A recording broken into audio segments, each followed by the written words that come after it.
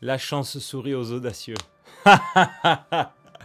Cette phrase résonne en moi depuis toujours, comme une prière, un mantra, qui ne semble arrêter que celui qui n'y croit pas. Mais rien ne semble arrêter celui qui y croit. C'est ça qui est dingue. Que fait-on quand on n'y croit plus? Quand les montagnes se répètent et que tout semble identique Que fait-on quand on perd la foi? Quand on arrête de saisir de nos mains ce que la vie nous offre Comme si la vie n'avait finalement plus de goût, plus de raison. Quand on arrête tout simplement de respirer, alors que chaque souffle, chaque respiration est une opportunité pour nous d'aller plus loin et encore plus haut. On écoute cette sombre voix qui nous mène à croire que les choses n'ont pas de saveur ni de couleur et que la vie qui nous a été gratuitement donnée est finalement un fardeau sans intérêt. Alors que c'est tout l'inverse. Devant nous se dévoile une page blanche, de l'encre et une plume. Tout peut être écrit à celui qui le veut. Avant ça, il n'y avait rien. Mais cette page me permet de tout devenir, de tout écrire et de laisser une trace dans l'éternité. Les amis, je m'appelle Lucas Cassia et bienvenue dans Chronique d'un artiste en développement. C'est une genre de web série dans laquelle je vous montre l'accomplissement, les backstage de l'épopée vers l'accomplissement de mon rêve le plus dingue, celui de devenir une star internationale. Je dis avec, avec euh, impact, avec puissance, parce que quand je lis ces textes que j'écris à chaque début de vidéo, à chaque fois ça résonne dans mon cœur et je me dis, Lucas, les choses sont possibles en fait. C'est comme si je me parlais à moi-même. Et dans ces vidéos, je vous montre l'accomplissement de ce que j'ai de plus cher au monde. Mon œuvre, mon art, ce que j'ai envie de laisser derrière moi, mes titres, mes chansons. Et mon rêve le plus grand, celui de devenir une star internationale. Et de traverser le monde sur les plus grandes scènes, chanter mes titres devant des milliers de personnes chaque soir, aux côtés des gens les plus populaires de cette planète. Les amis, c'est avec vous que j'ai envie d'accomplir ce rêve. C'est avec vous que j'ai envie de montrer que tout est possible à celui qui y croit. Car la chance sourit aux audacieux. Alors aujourd'hui, je vous invite à, prendre ce projet avec moi dans la main, le saisir, saisir cette vie qui nous est offerte pour aller de l'avant et prouver que la France est capable de faire des choses pour l'univers entier. Et que nous aussi, on est capable de faire de la musique pour le monde. Les amis, est-ce que vous voulez parier avec moi que tout ça est possible? Alors je vous invite à vous abonner, à cliquer sur la cloche des notifications, à partager, à liker, à surtout commenter cette vidéo et me suivre sur tous les réseaux sociaux où j'y suis très actif. Les amis, au, moment où je vous parle, je, travaille énormément sur la construction de ce projet et en fait je me rends compte que y il faut vraiment pas abandonner. Il faut faire ce qu'on aime, il faut le faire avec le cœur et il faut aller de l'avant. Alors ensemble, on y arrivera. Main dans la main, on y arrivera. Parce qu'on saisit, on saisit la vie. Bienvenue dans les coulisses de l'accomplissement de mon rêve. Il y a quelques temps, j'avais dit qu'avant fin d'année 2025, on accomplira les 100 000 abonnés sur la chaîne. Go Qui est chaud On partage, on like et on y va. Bon visionnage. Ça fait un moment que j'ai pas repris la caméra. Ça doit presque faire le 10-15e épisode que vous voyez. Ça fait deux mois que j'ai pas touché la caméra. Ça fait à peu près, je dirais, six mois que je suis à, bloc, à bloc sur la préparation de la nouvelle Eve.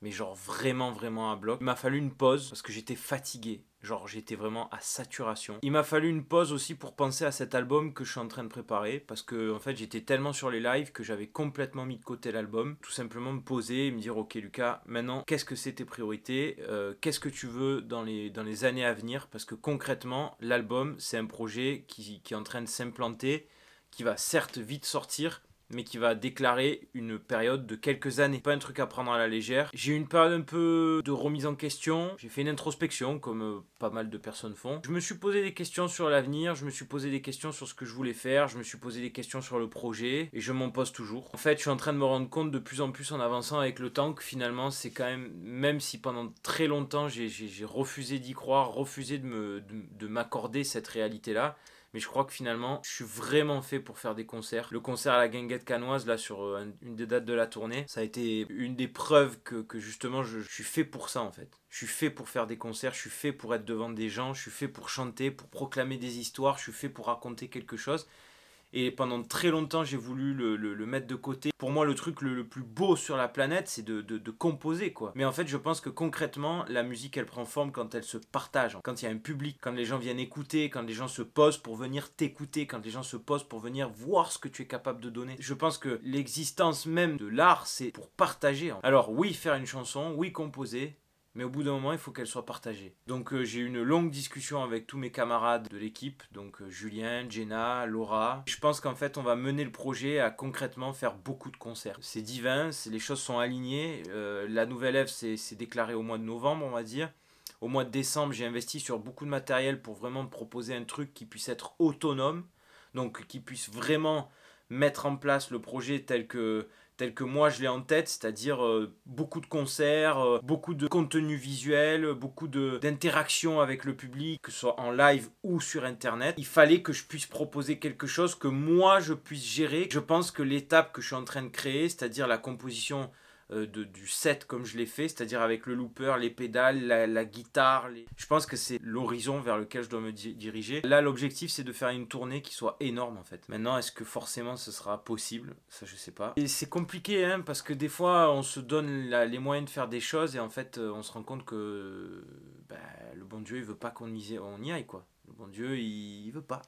Tu crois que c'est bon pour toi, mais en fait, c'est pas bon pour toi, tu vois. J'en suis là et, et, ça, et ça me va. Hein. J'avais besoin de souffler. Parce que je fais pas que ça. Les gens croient que je fais que de la musique, mais c'est pas ma seule activité. Ça l'est pas parce que, on va dire que je puisse évoluer dans la musique. Je peux pas attendre que sur la musique parce que ça demande beaucoup d'argent, ça demande beaucoup d'investissement personnel, économique, de temps, d'engagement. Toutes ces choses-là, en fait, je peux pas les faire si j'ai que la musique. Donc, naturellement, il me faut euh, une activité derrière. Je fais plusieurs trucs à la fois. Parfois, c'est un peu crevant. Mais la musique reste ma seule et unique euh, vraie priorité. C'est-à-dire que c'est mon bébé, c'est avec ça que j'ai grandi, c'est là-dedans que j'ai grandi, c'est là-dedans que je, me vois grandir. On est un vendredi 3 3 2023. Incroyable. Et je parle à la caméra comme ça. J'ai envie de vraiment proposer une proximité avec le public parce que je pense que c'est là que ma musique elle naît. Maintenant, à vous de m'aider à, à, le faire. Je crois que j'ai tout dit. Bon, écoutez, Merci de votre écoute, j'ai parlé pendant un petit moment. J'ai été le plus honnête possible. Pas de recul sur les chroniques en fait. Genre là, ça fait le 20e numéro ou 10e numéro que je fais. Euh, concrètement, je ne sais strictement pas si les chroniques vont marcher. Là, je, je, fais ces retours, mais tant euh, les chroniques, ça a changé ma vie. Euh, il n'y a plus de questions à se poser.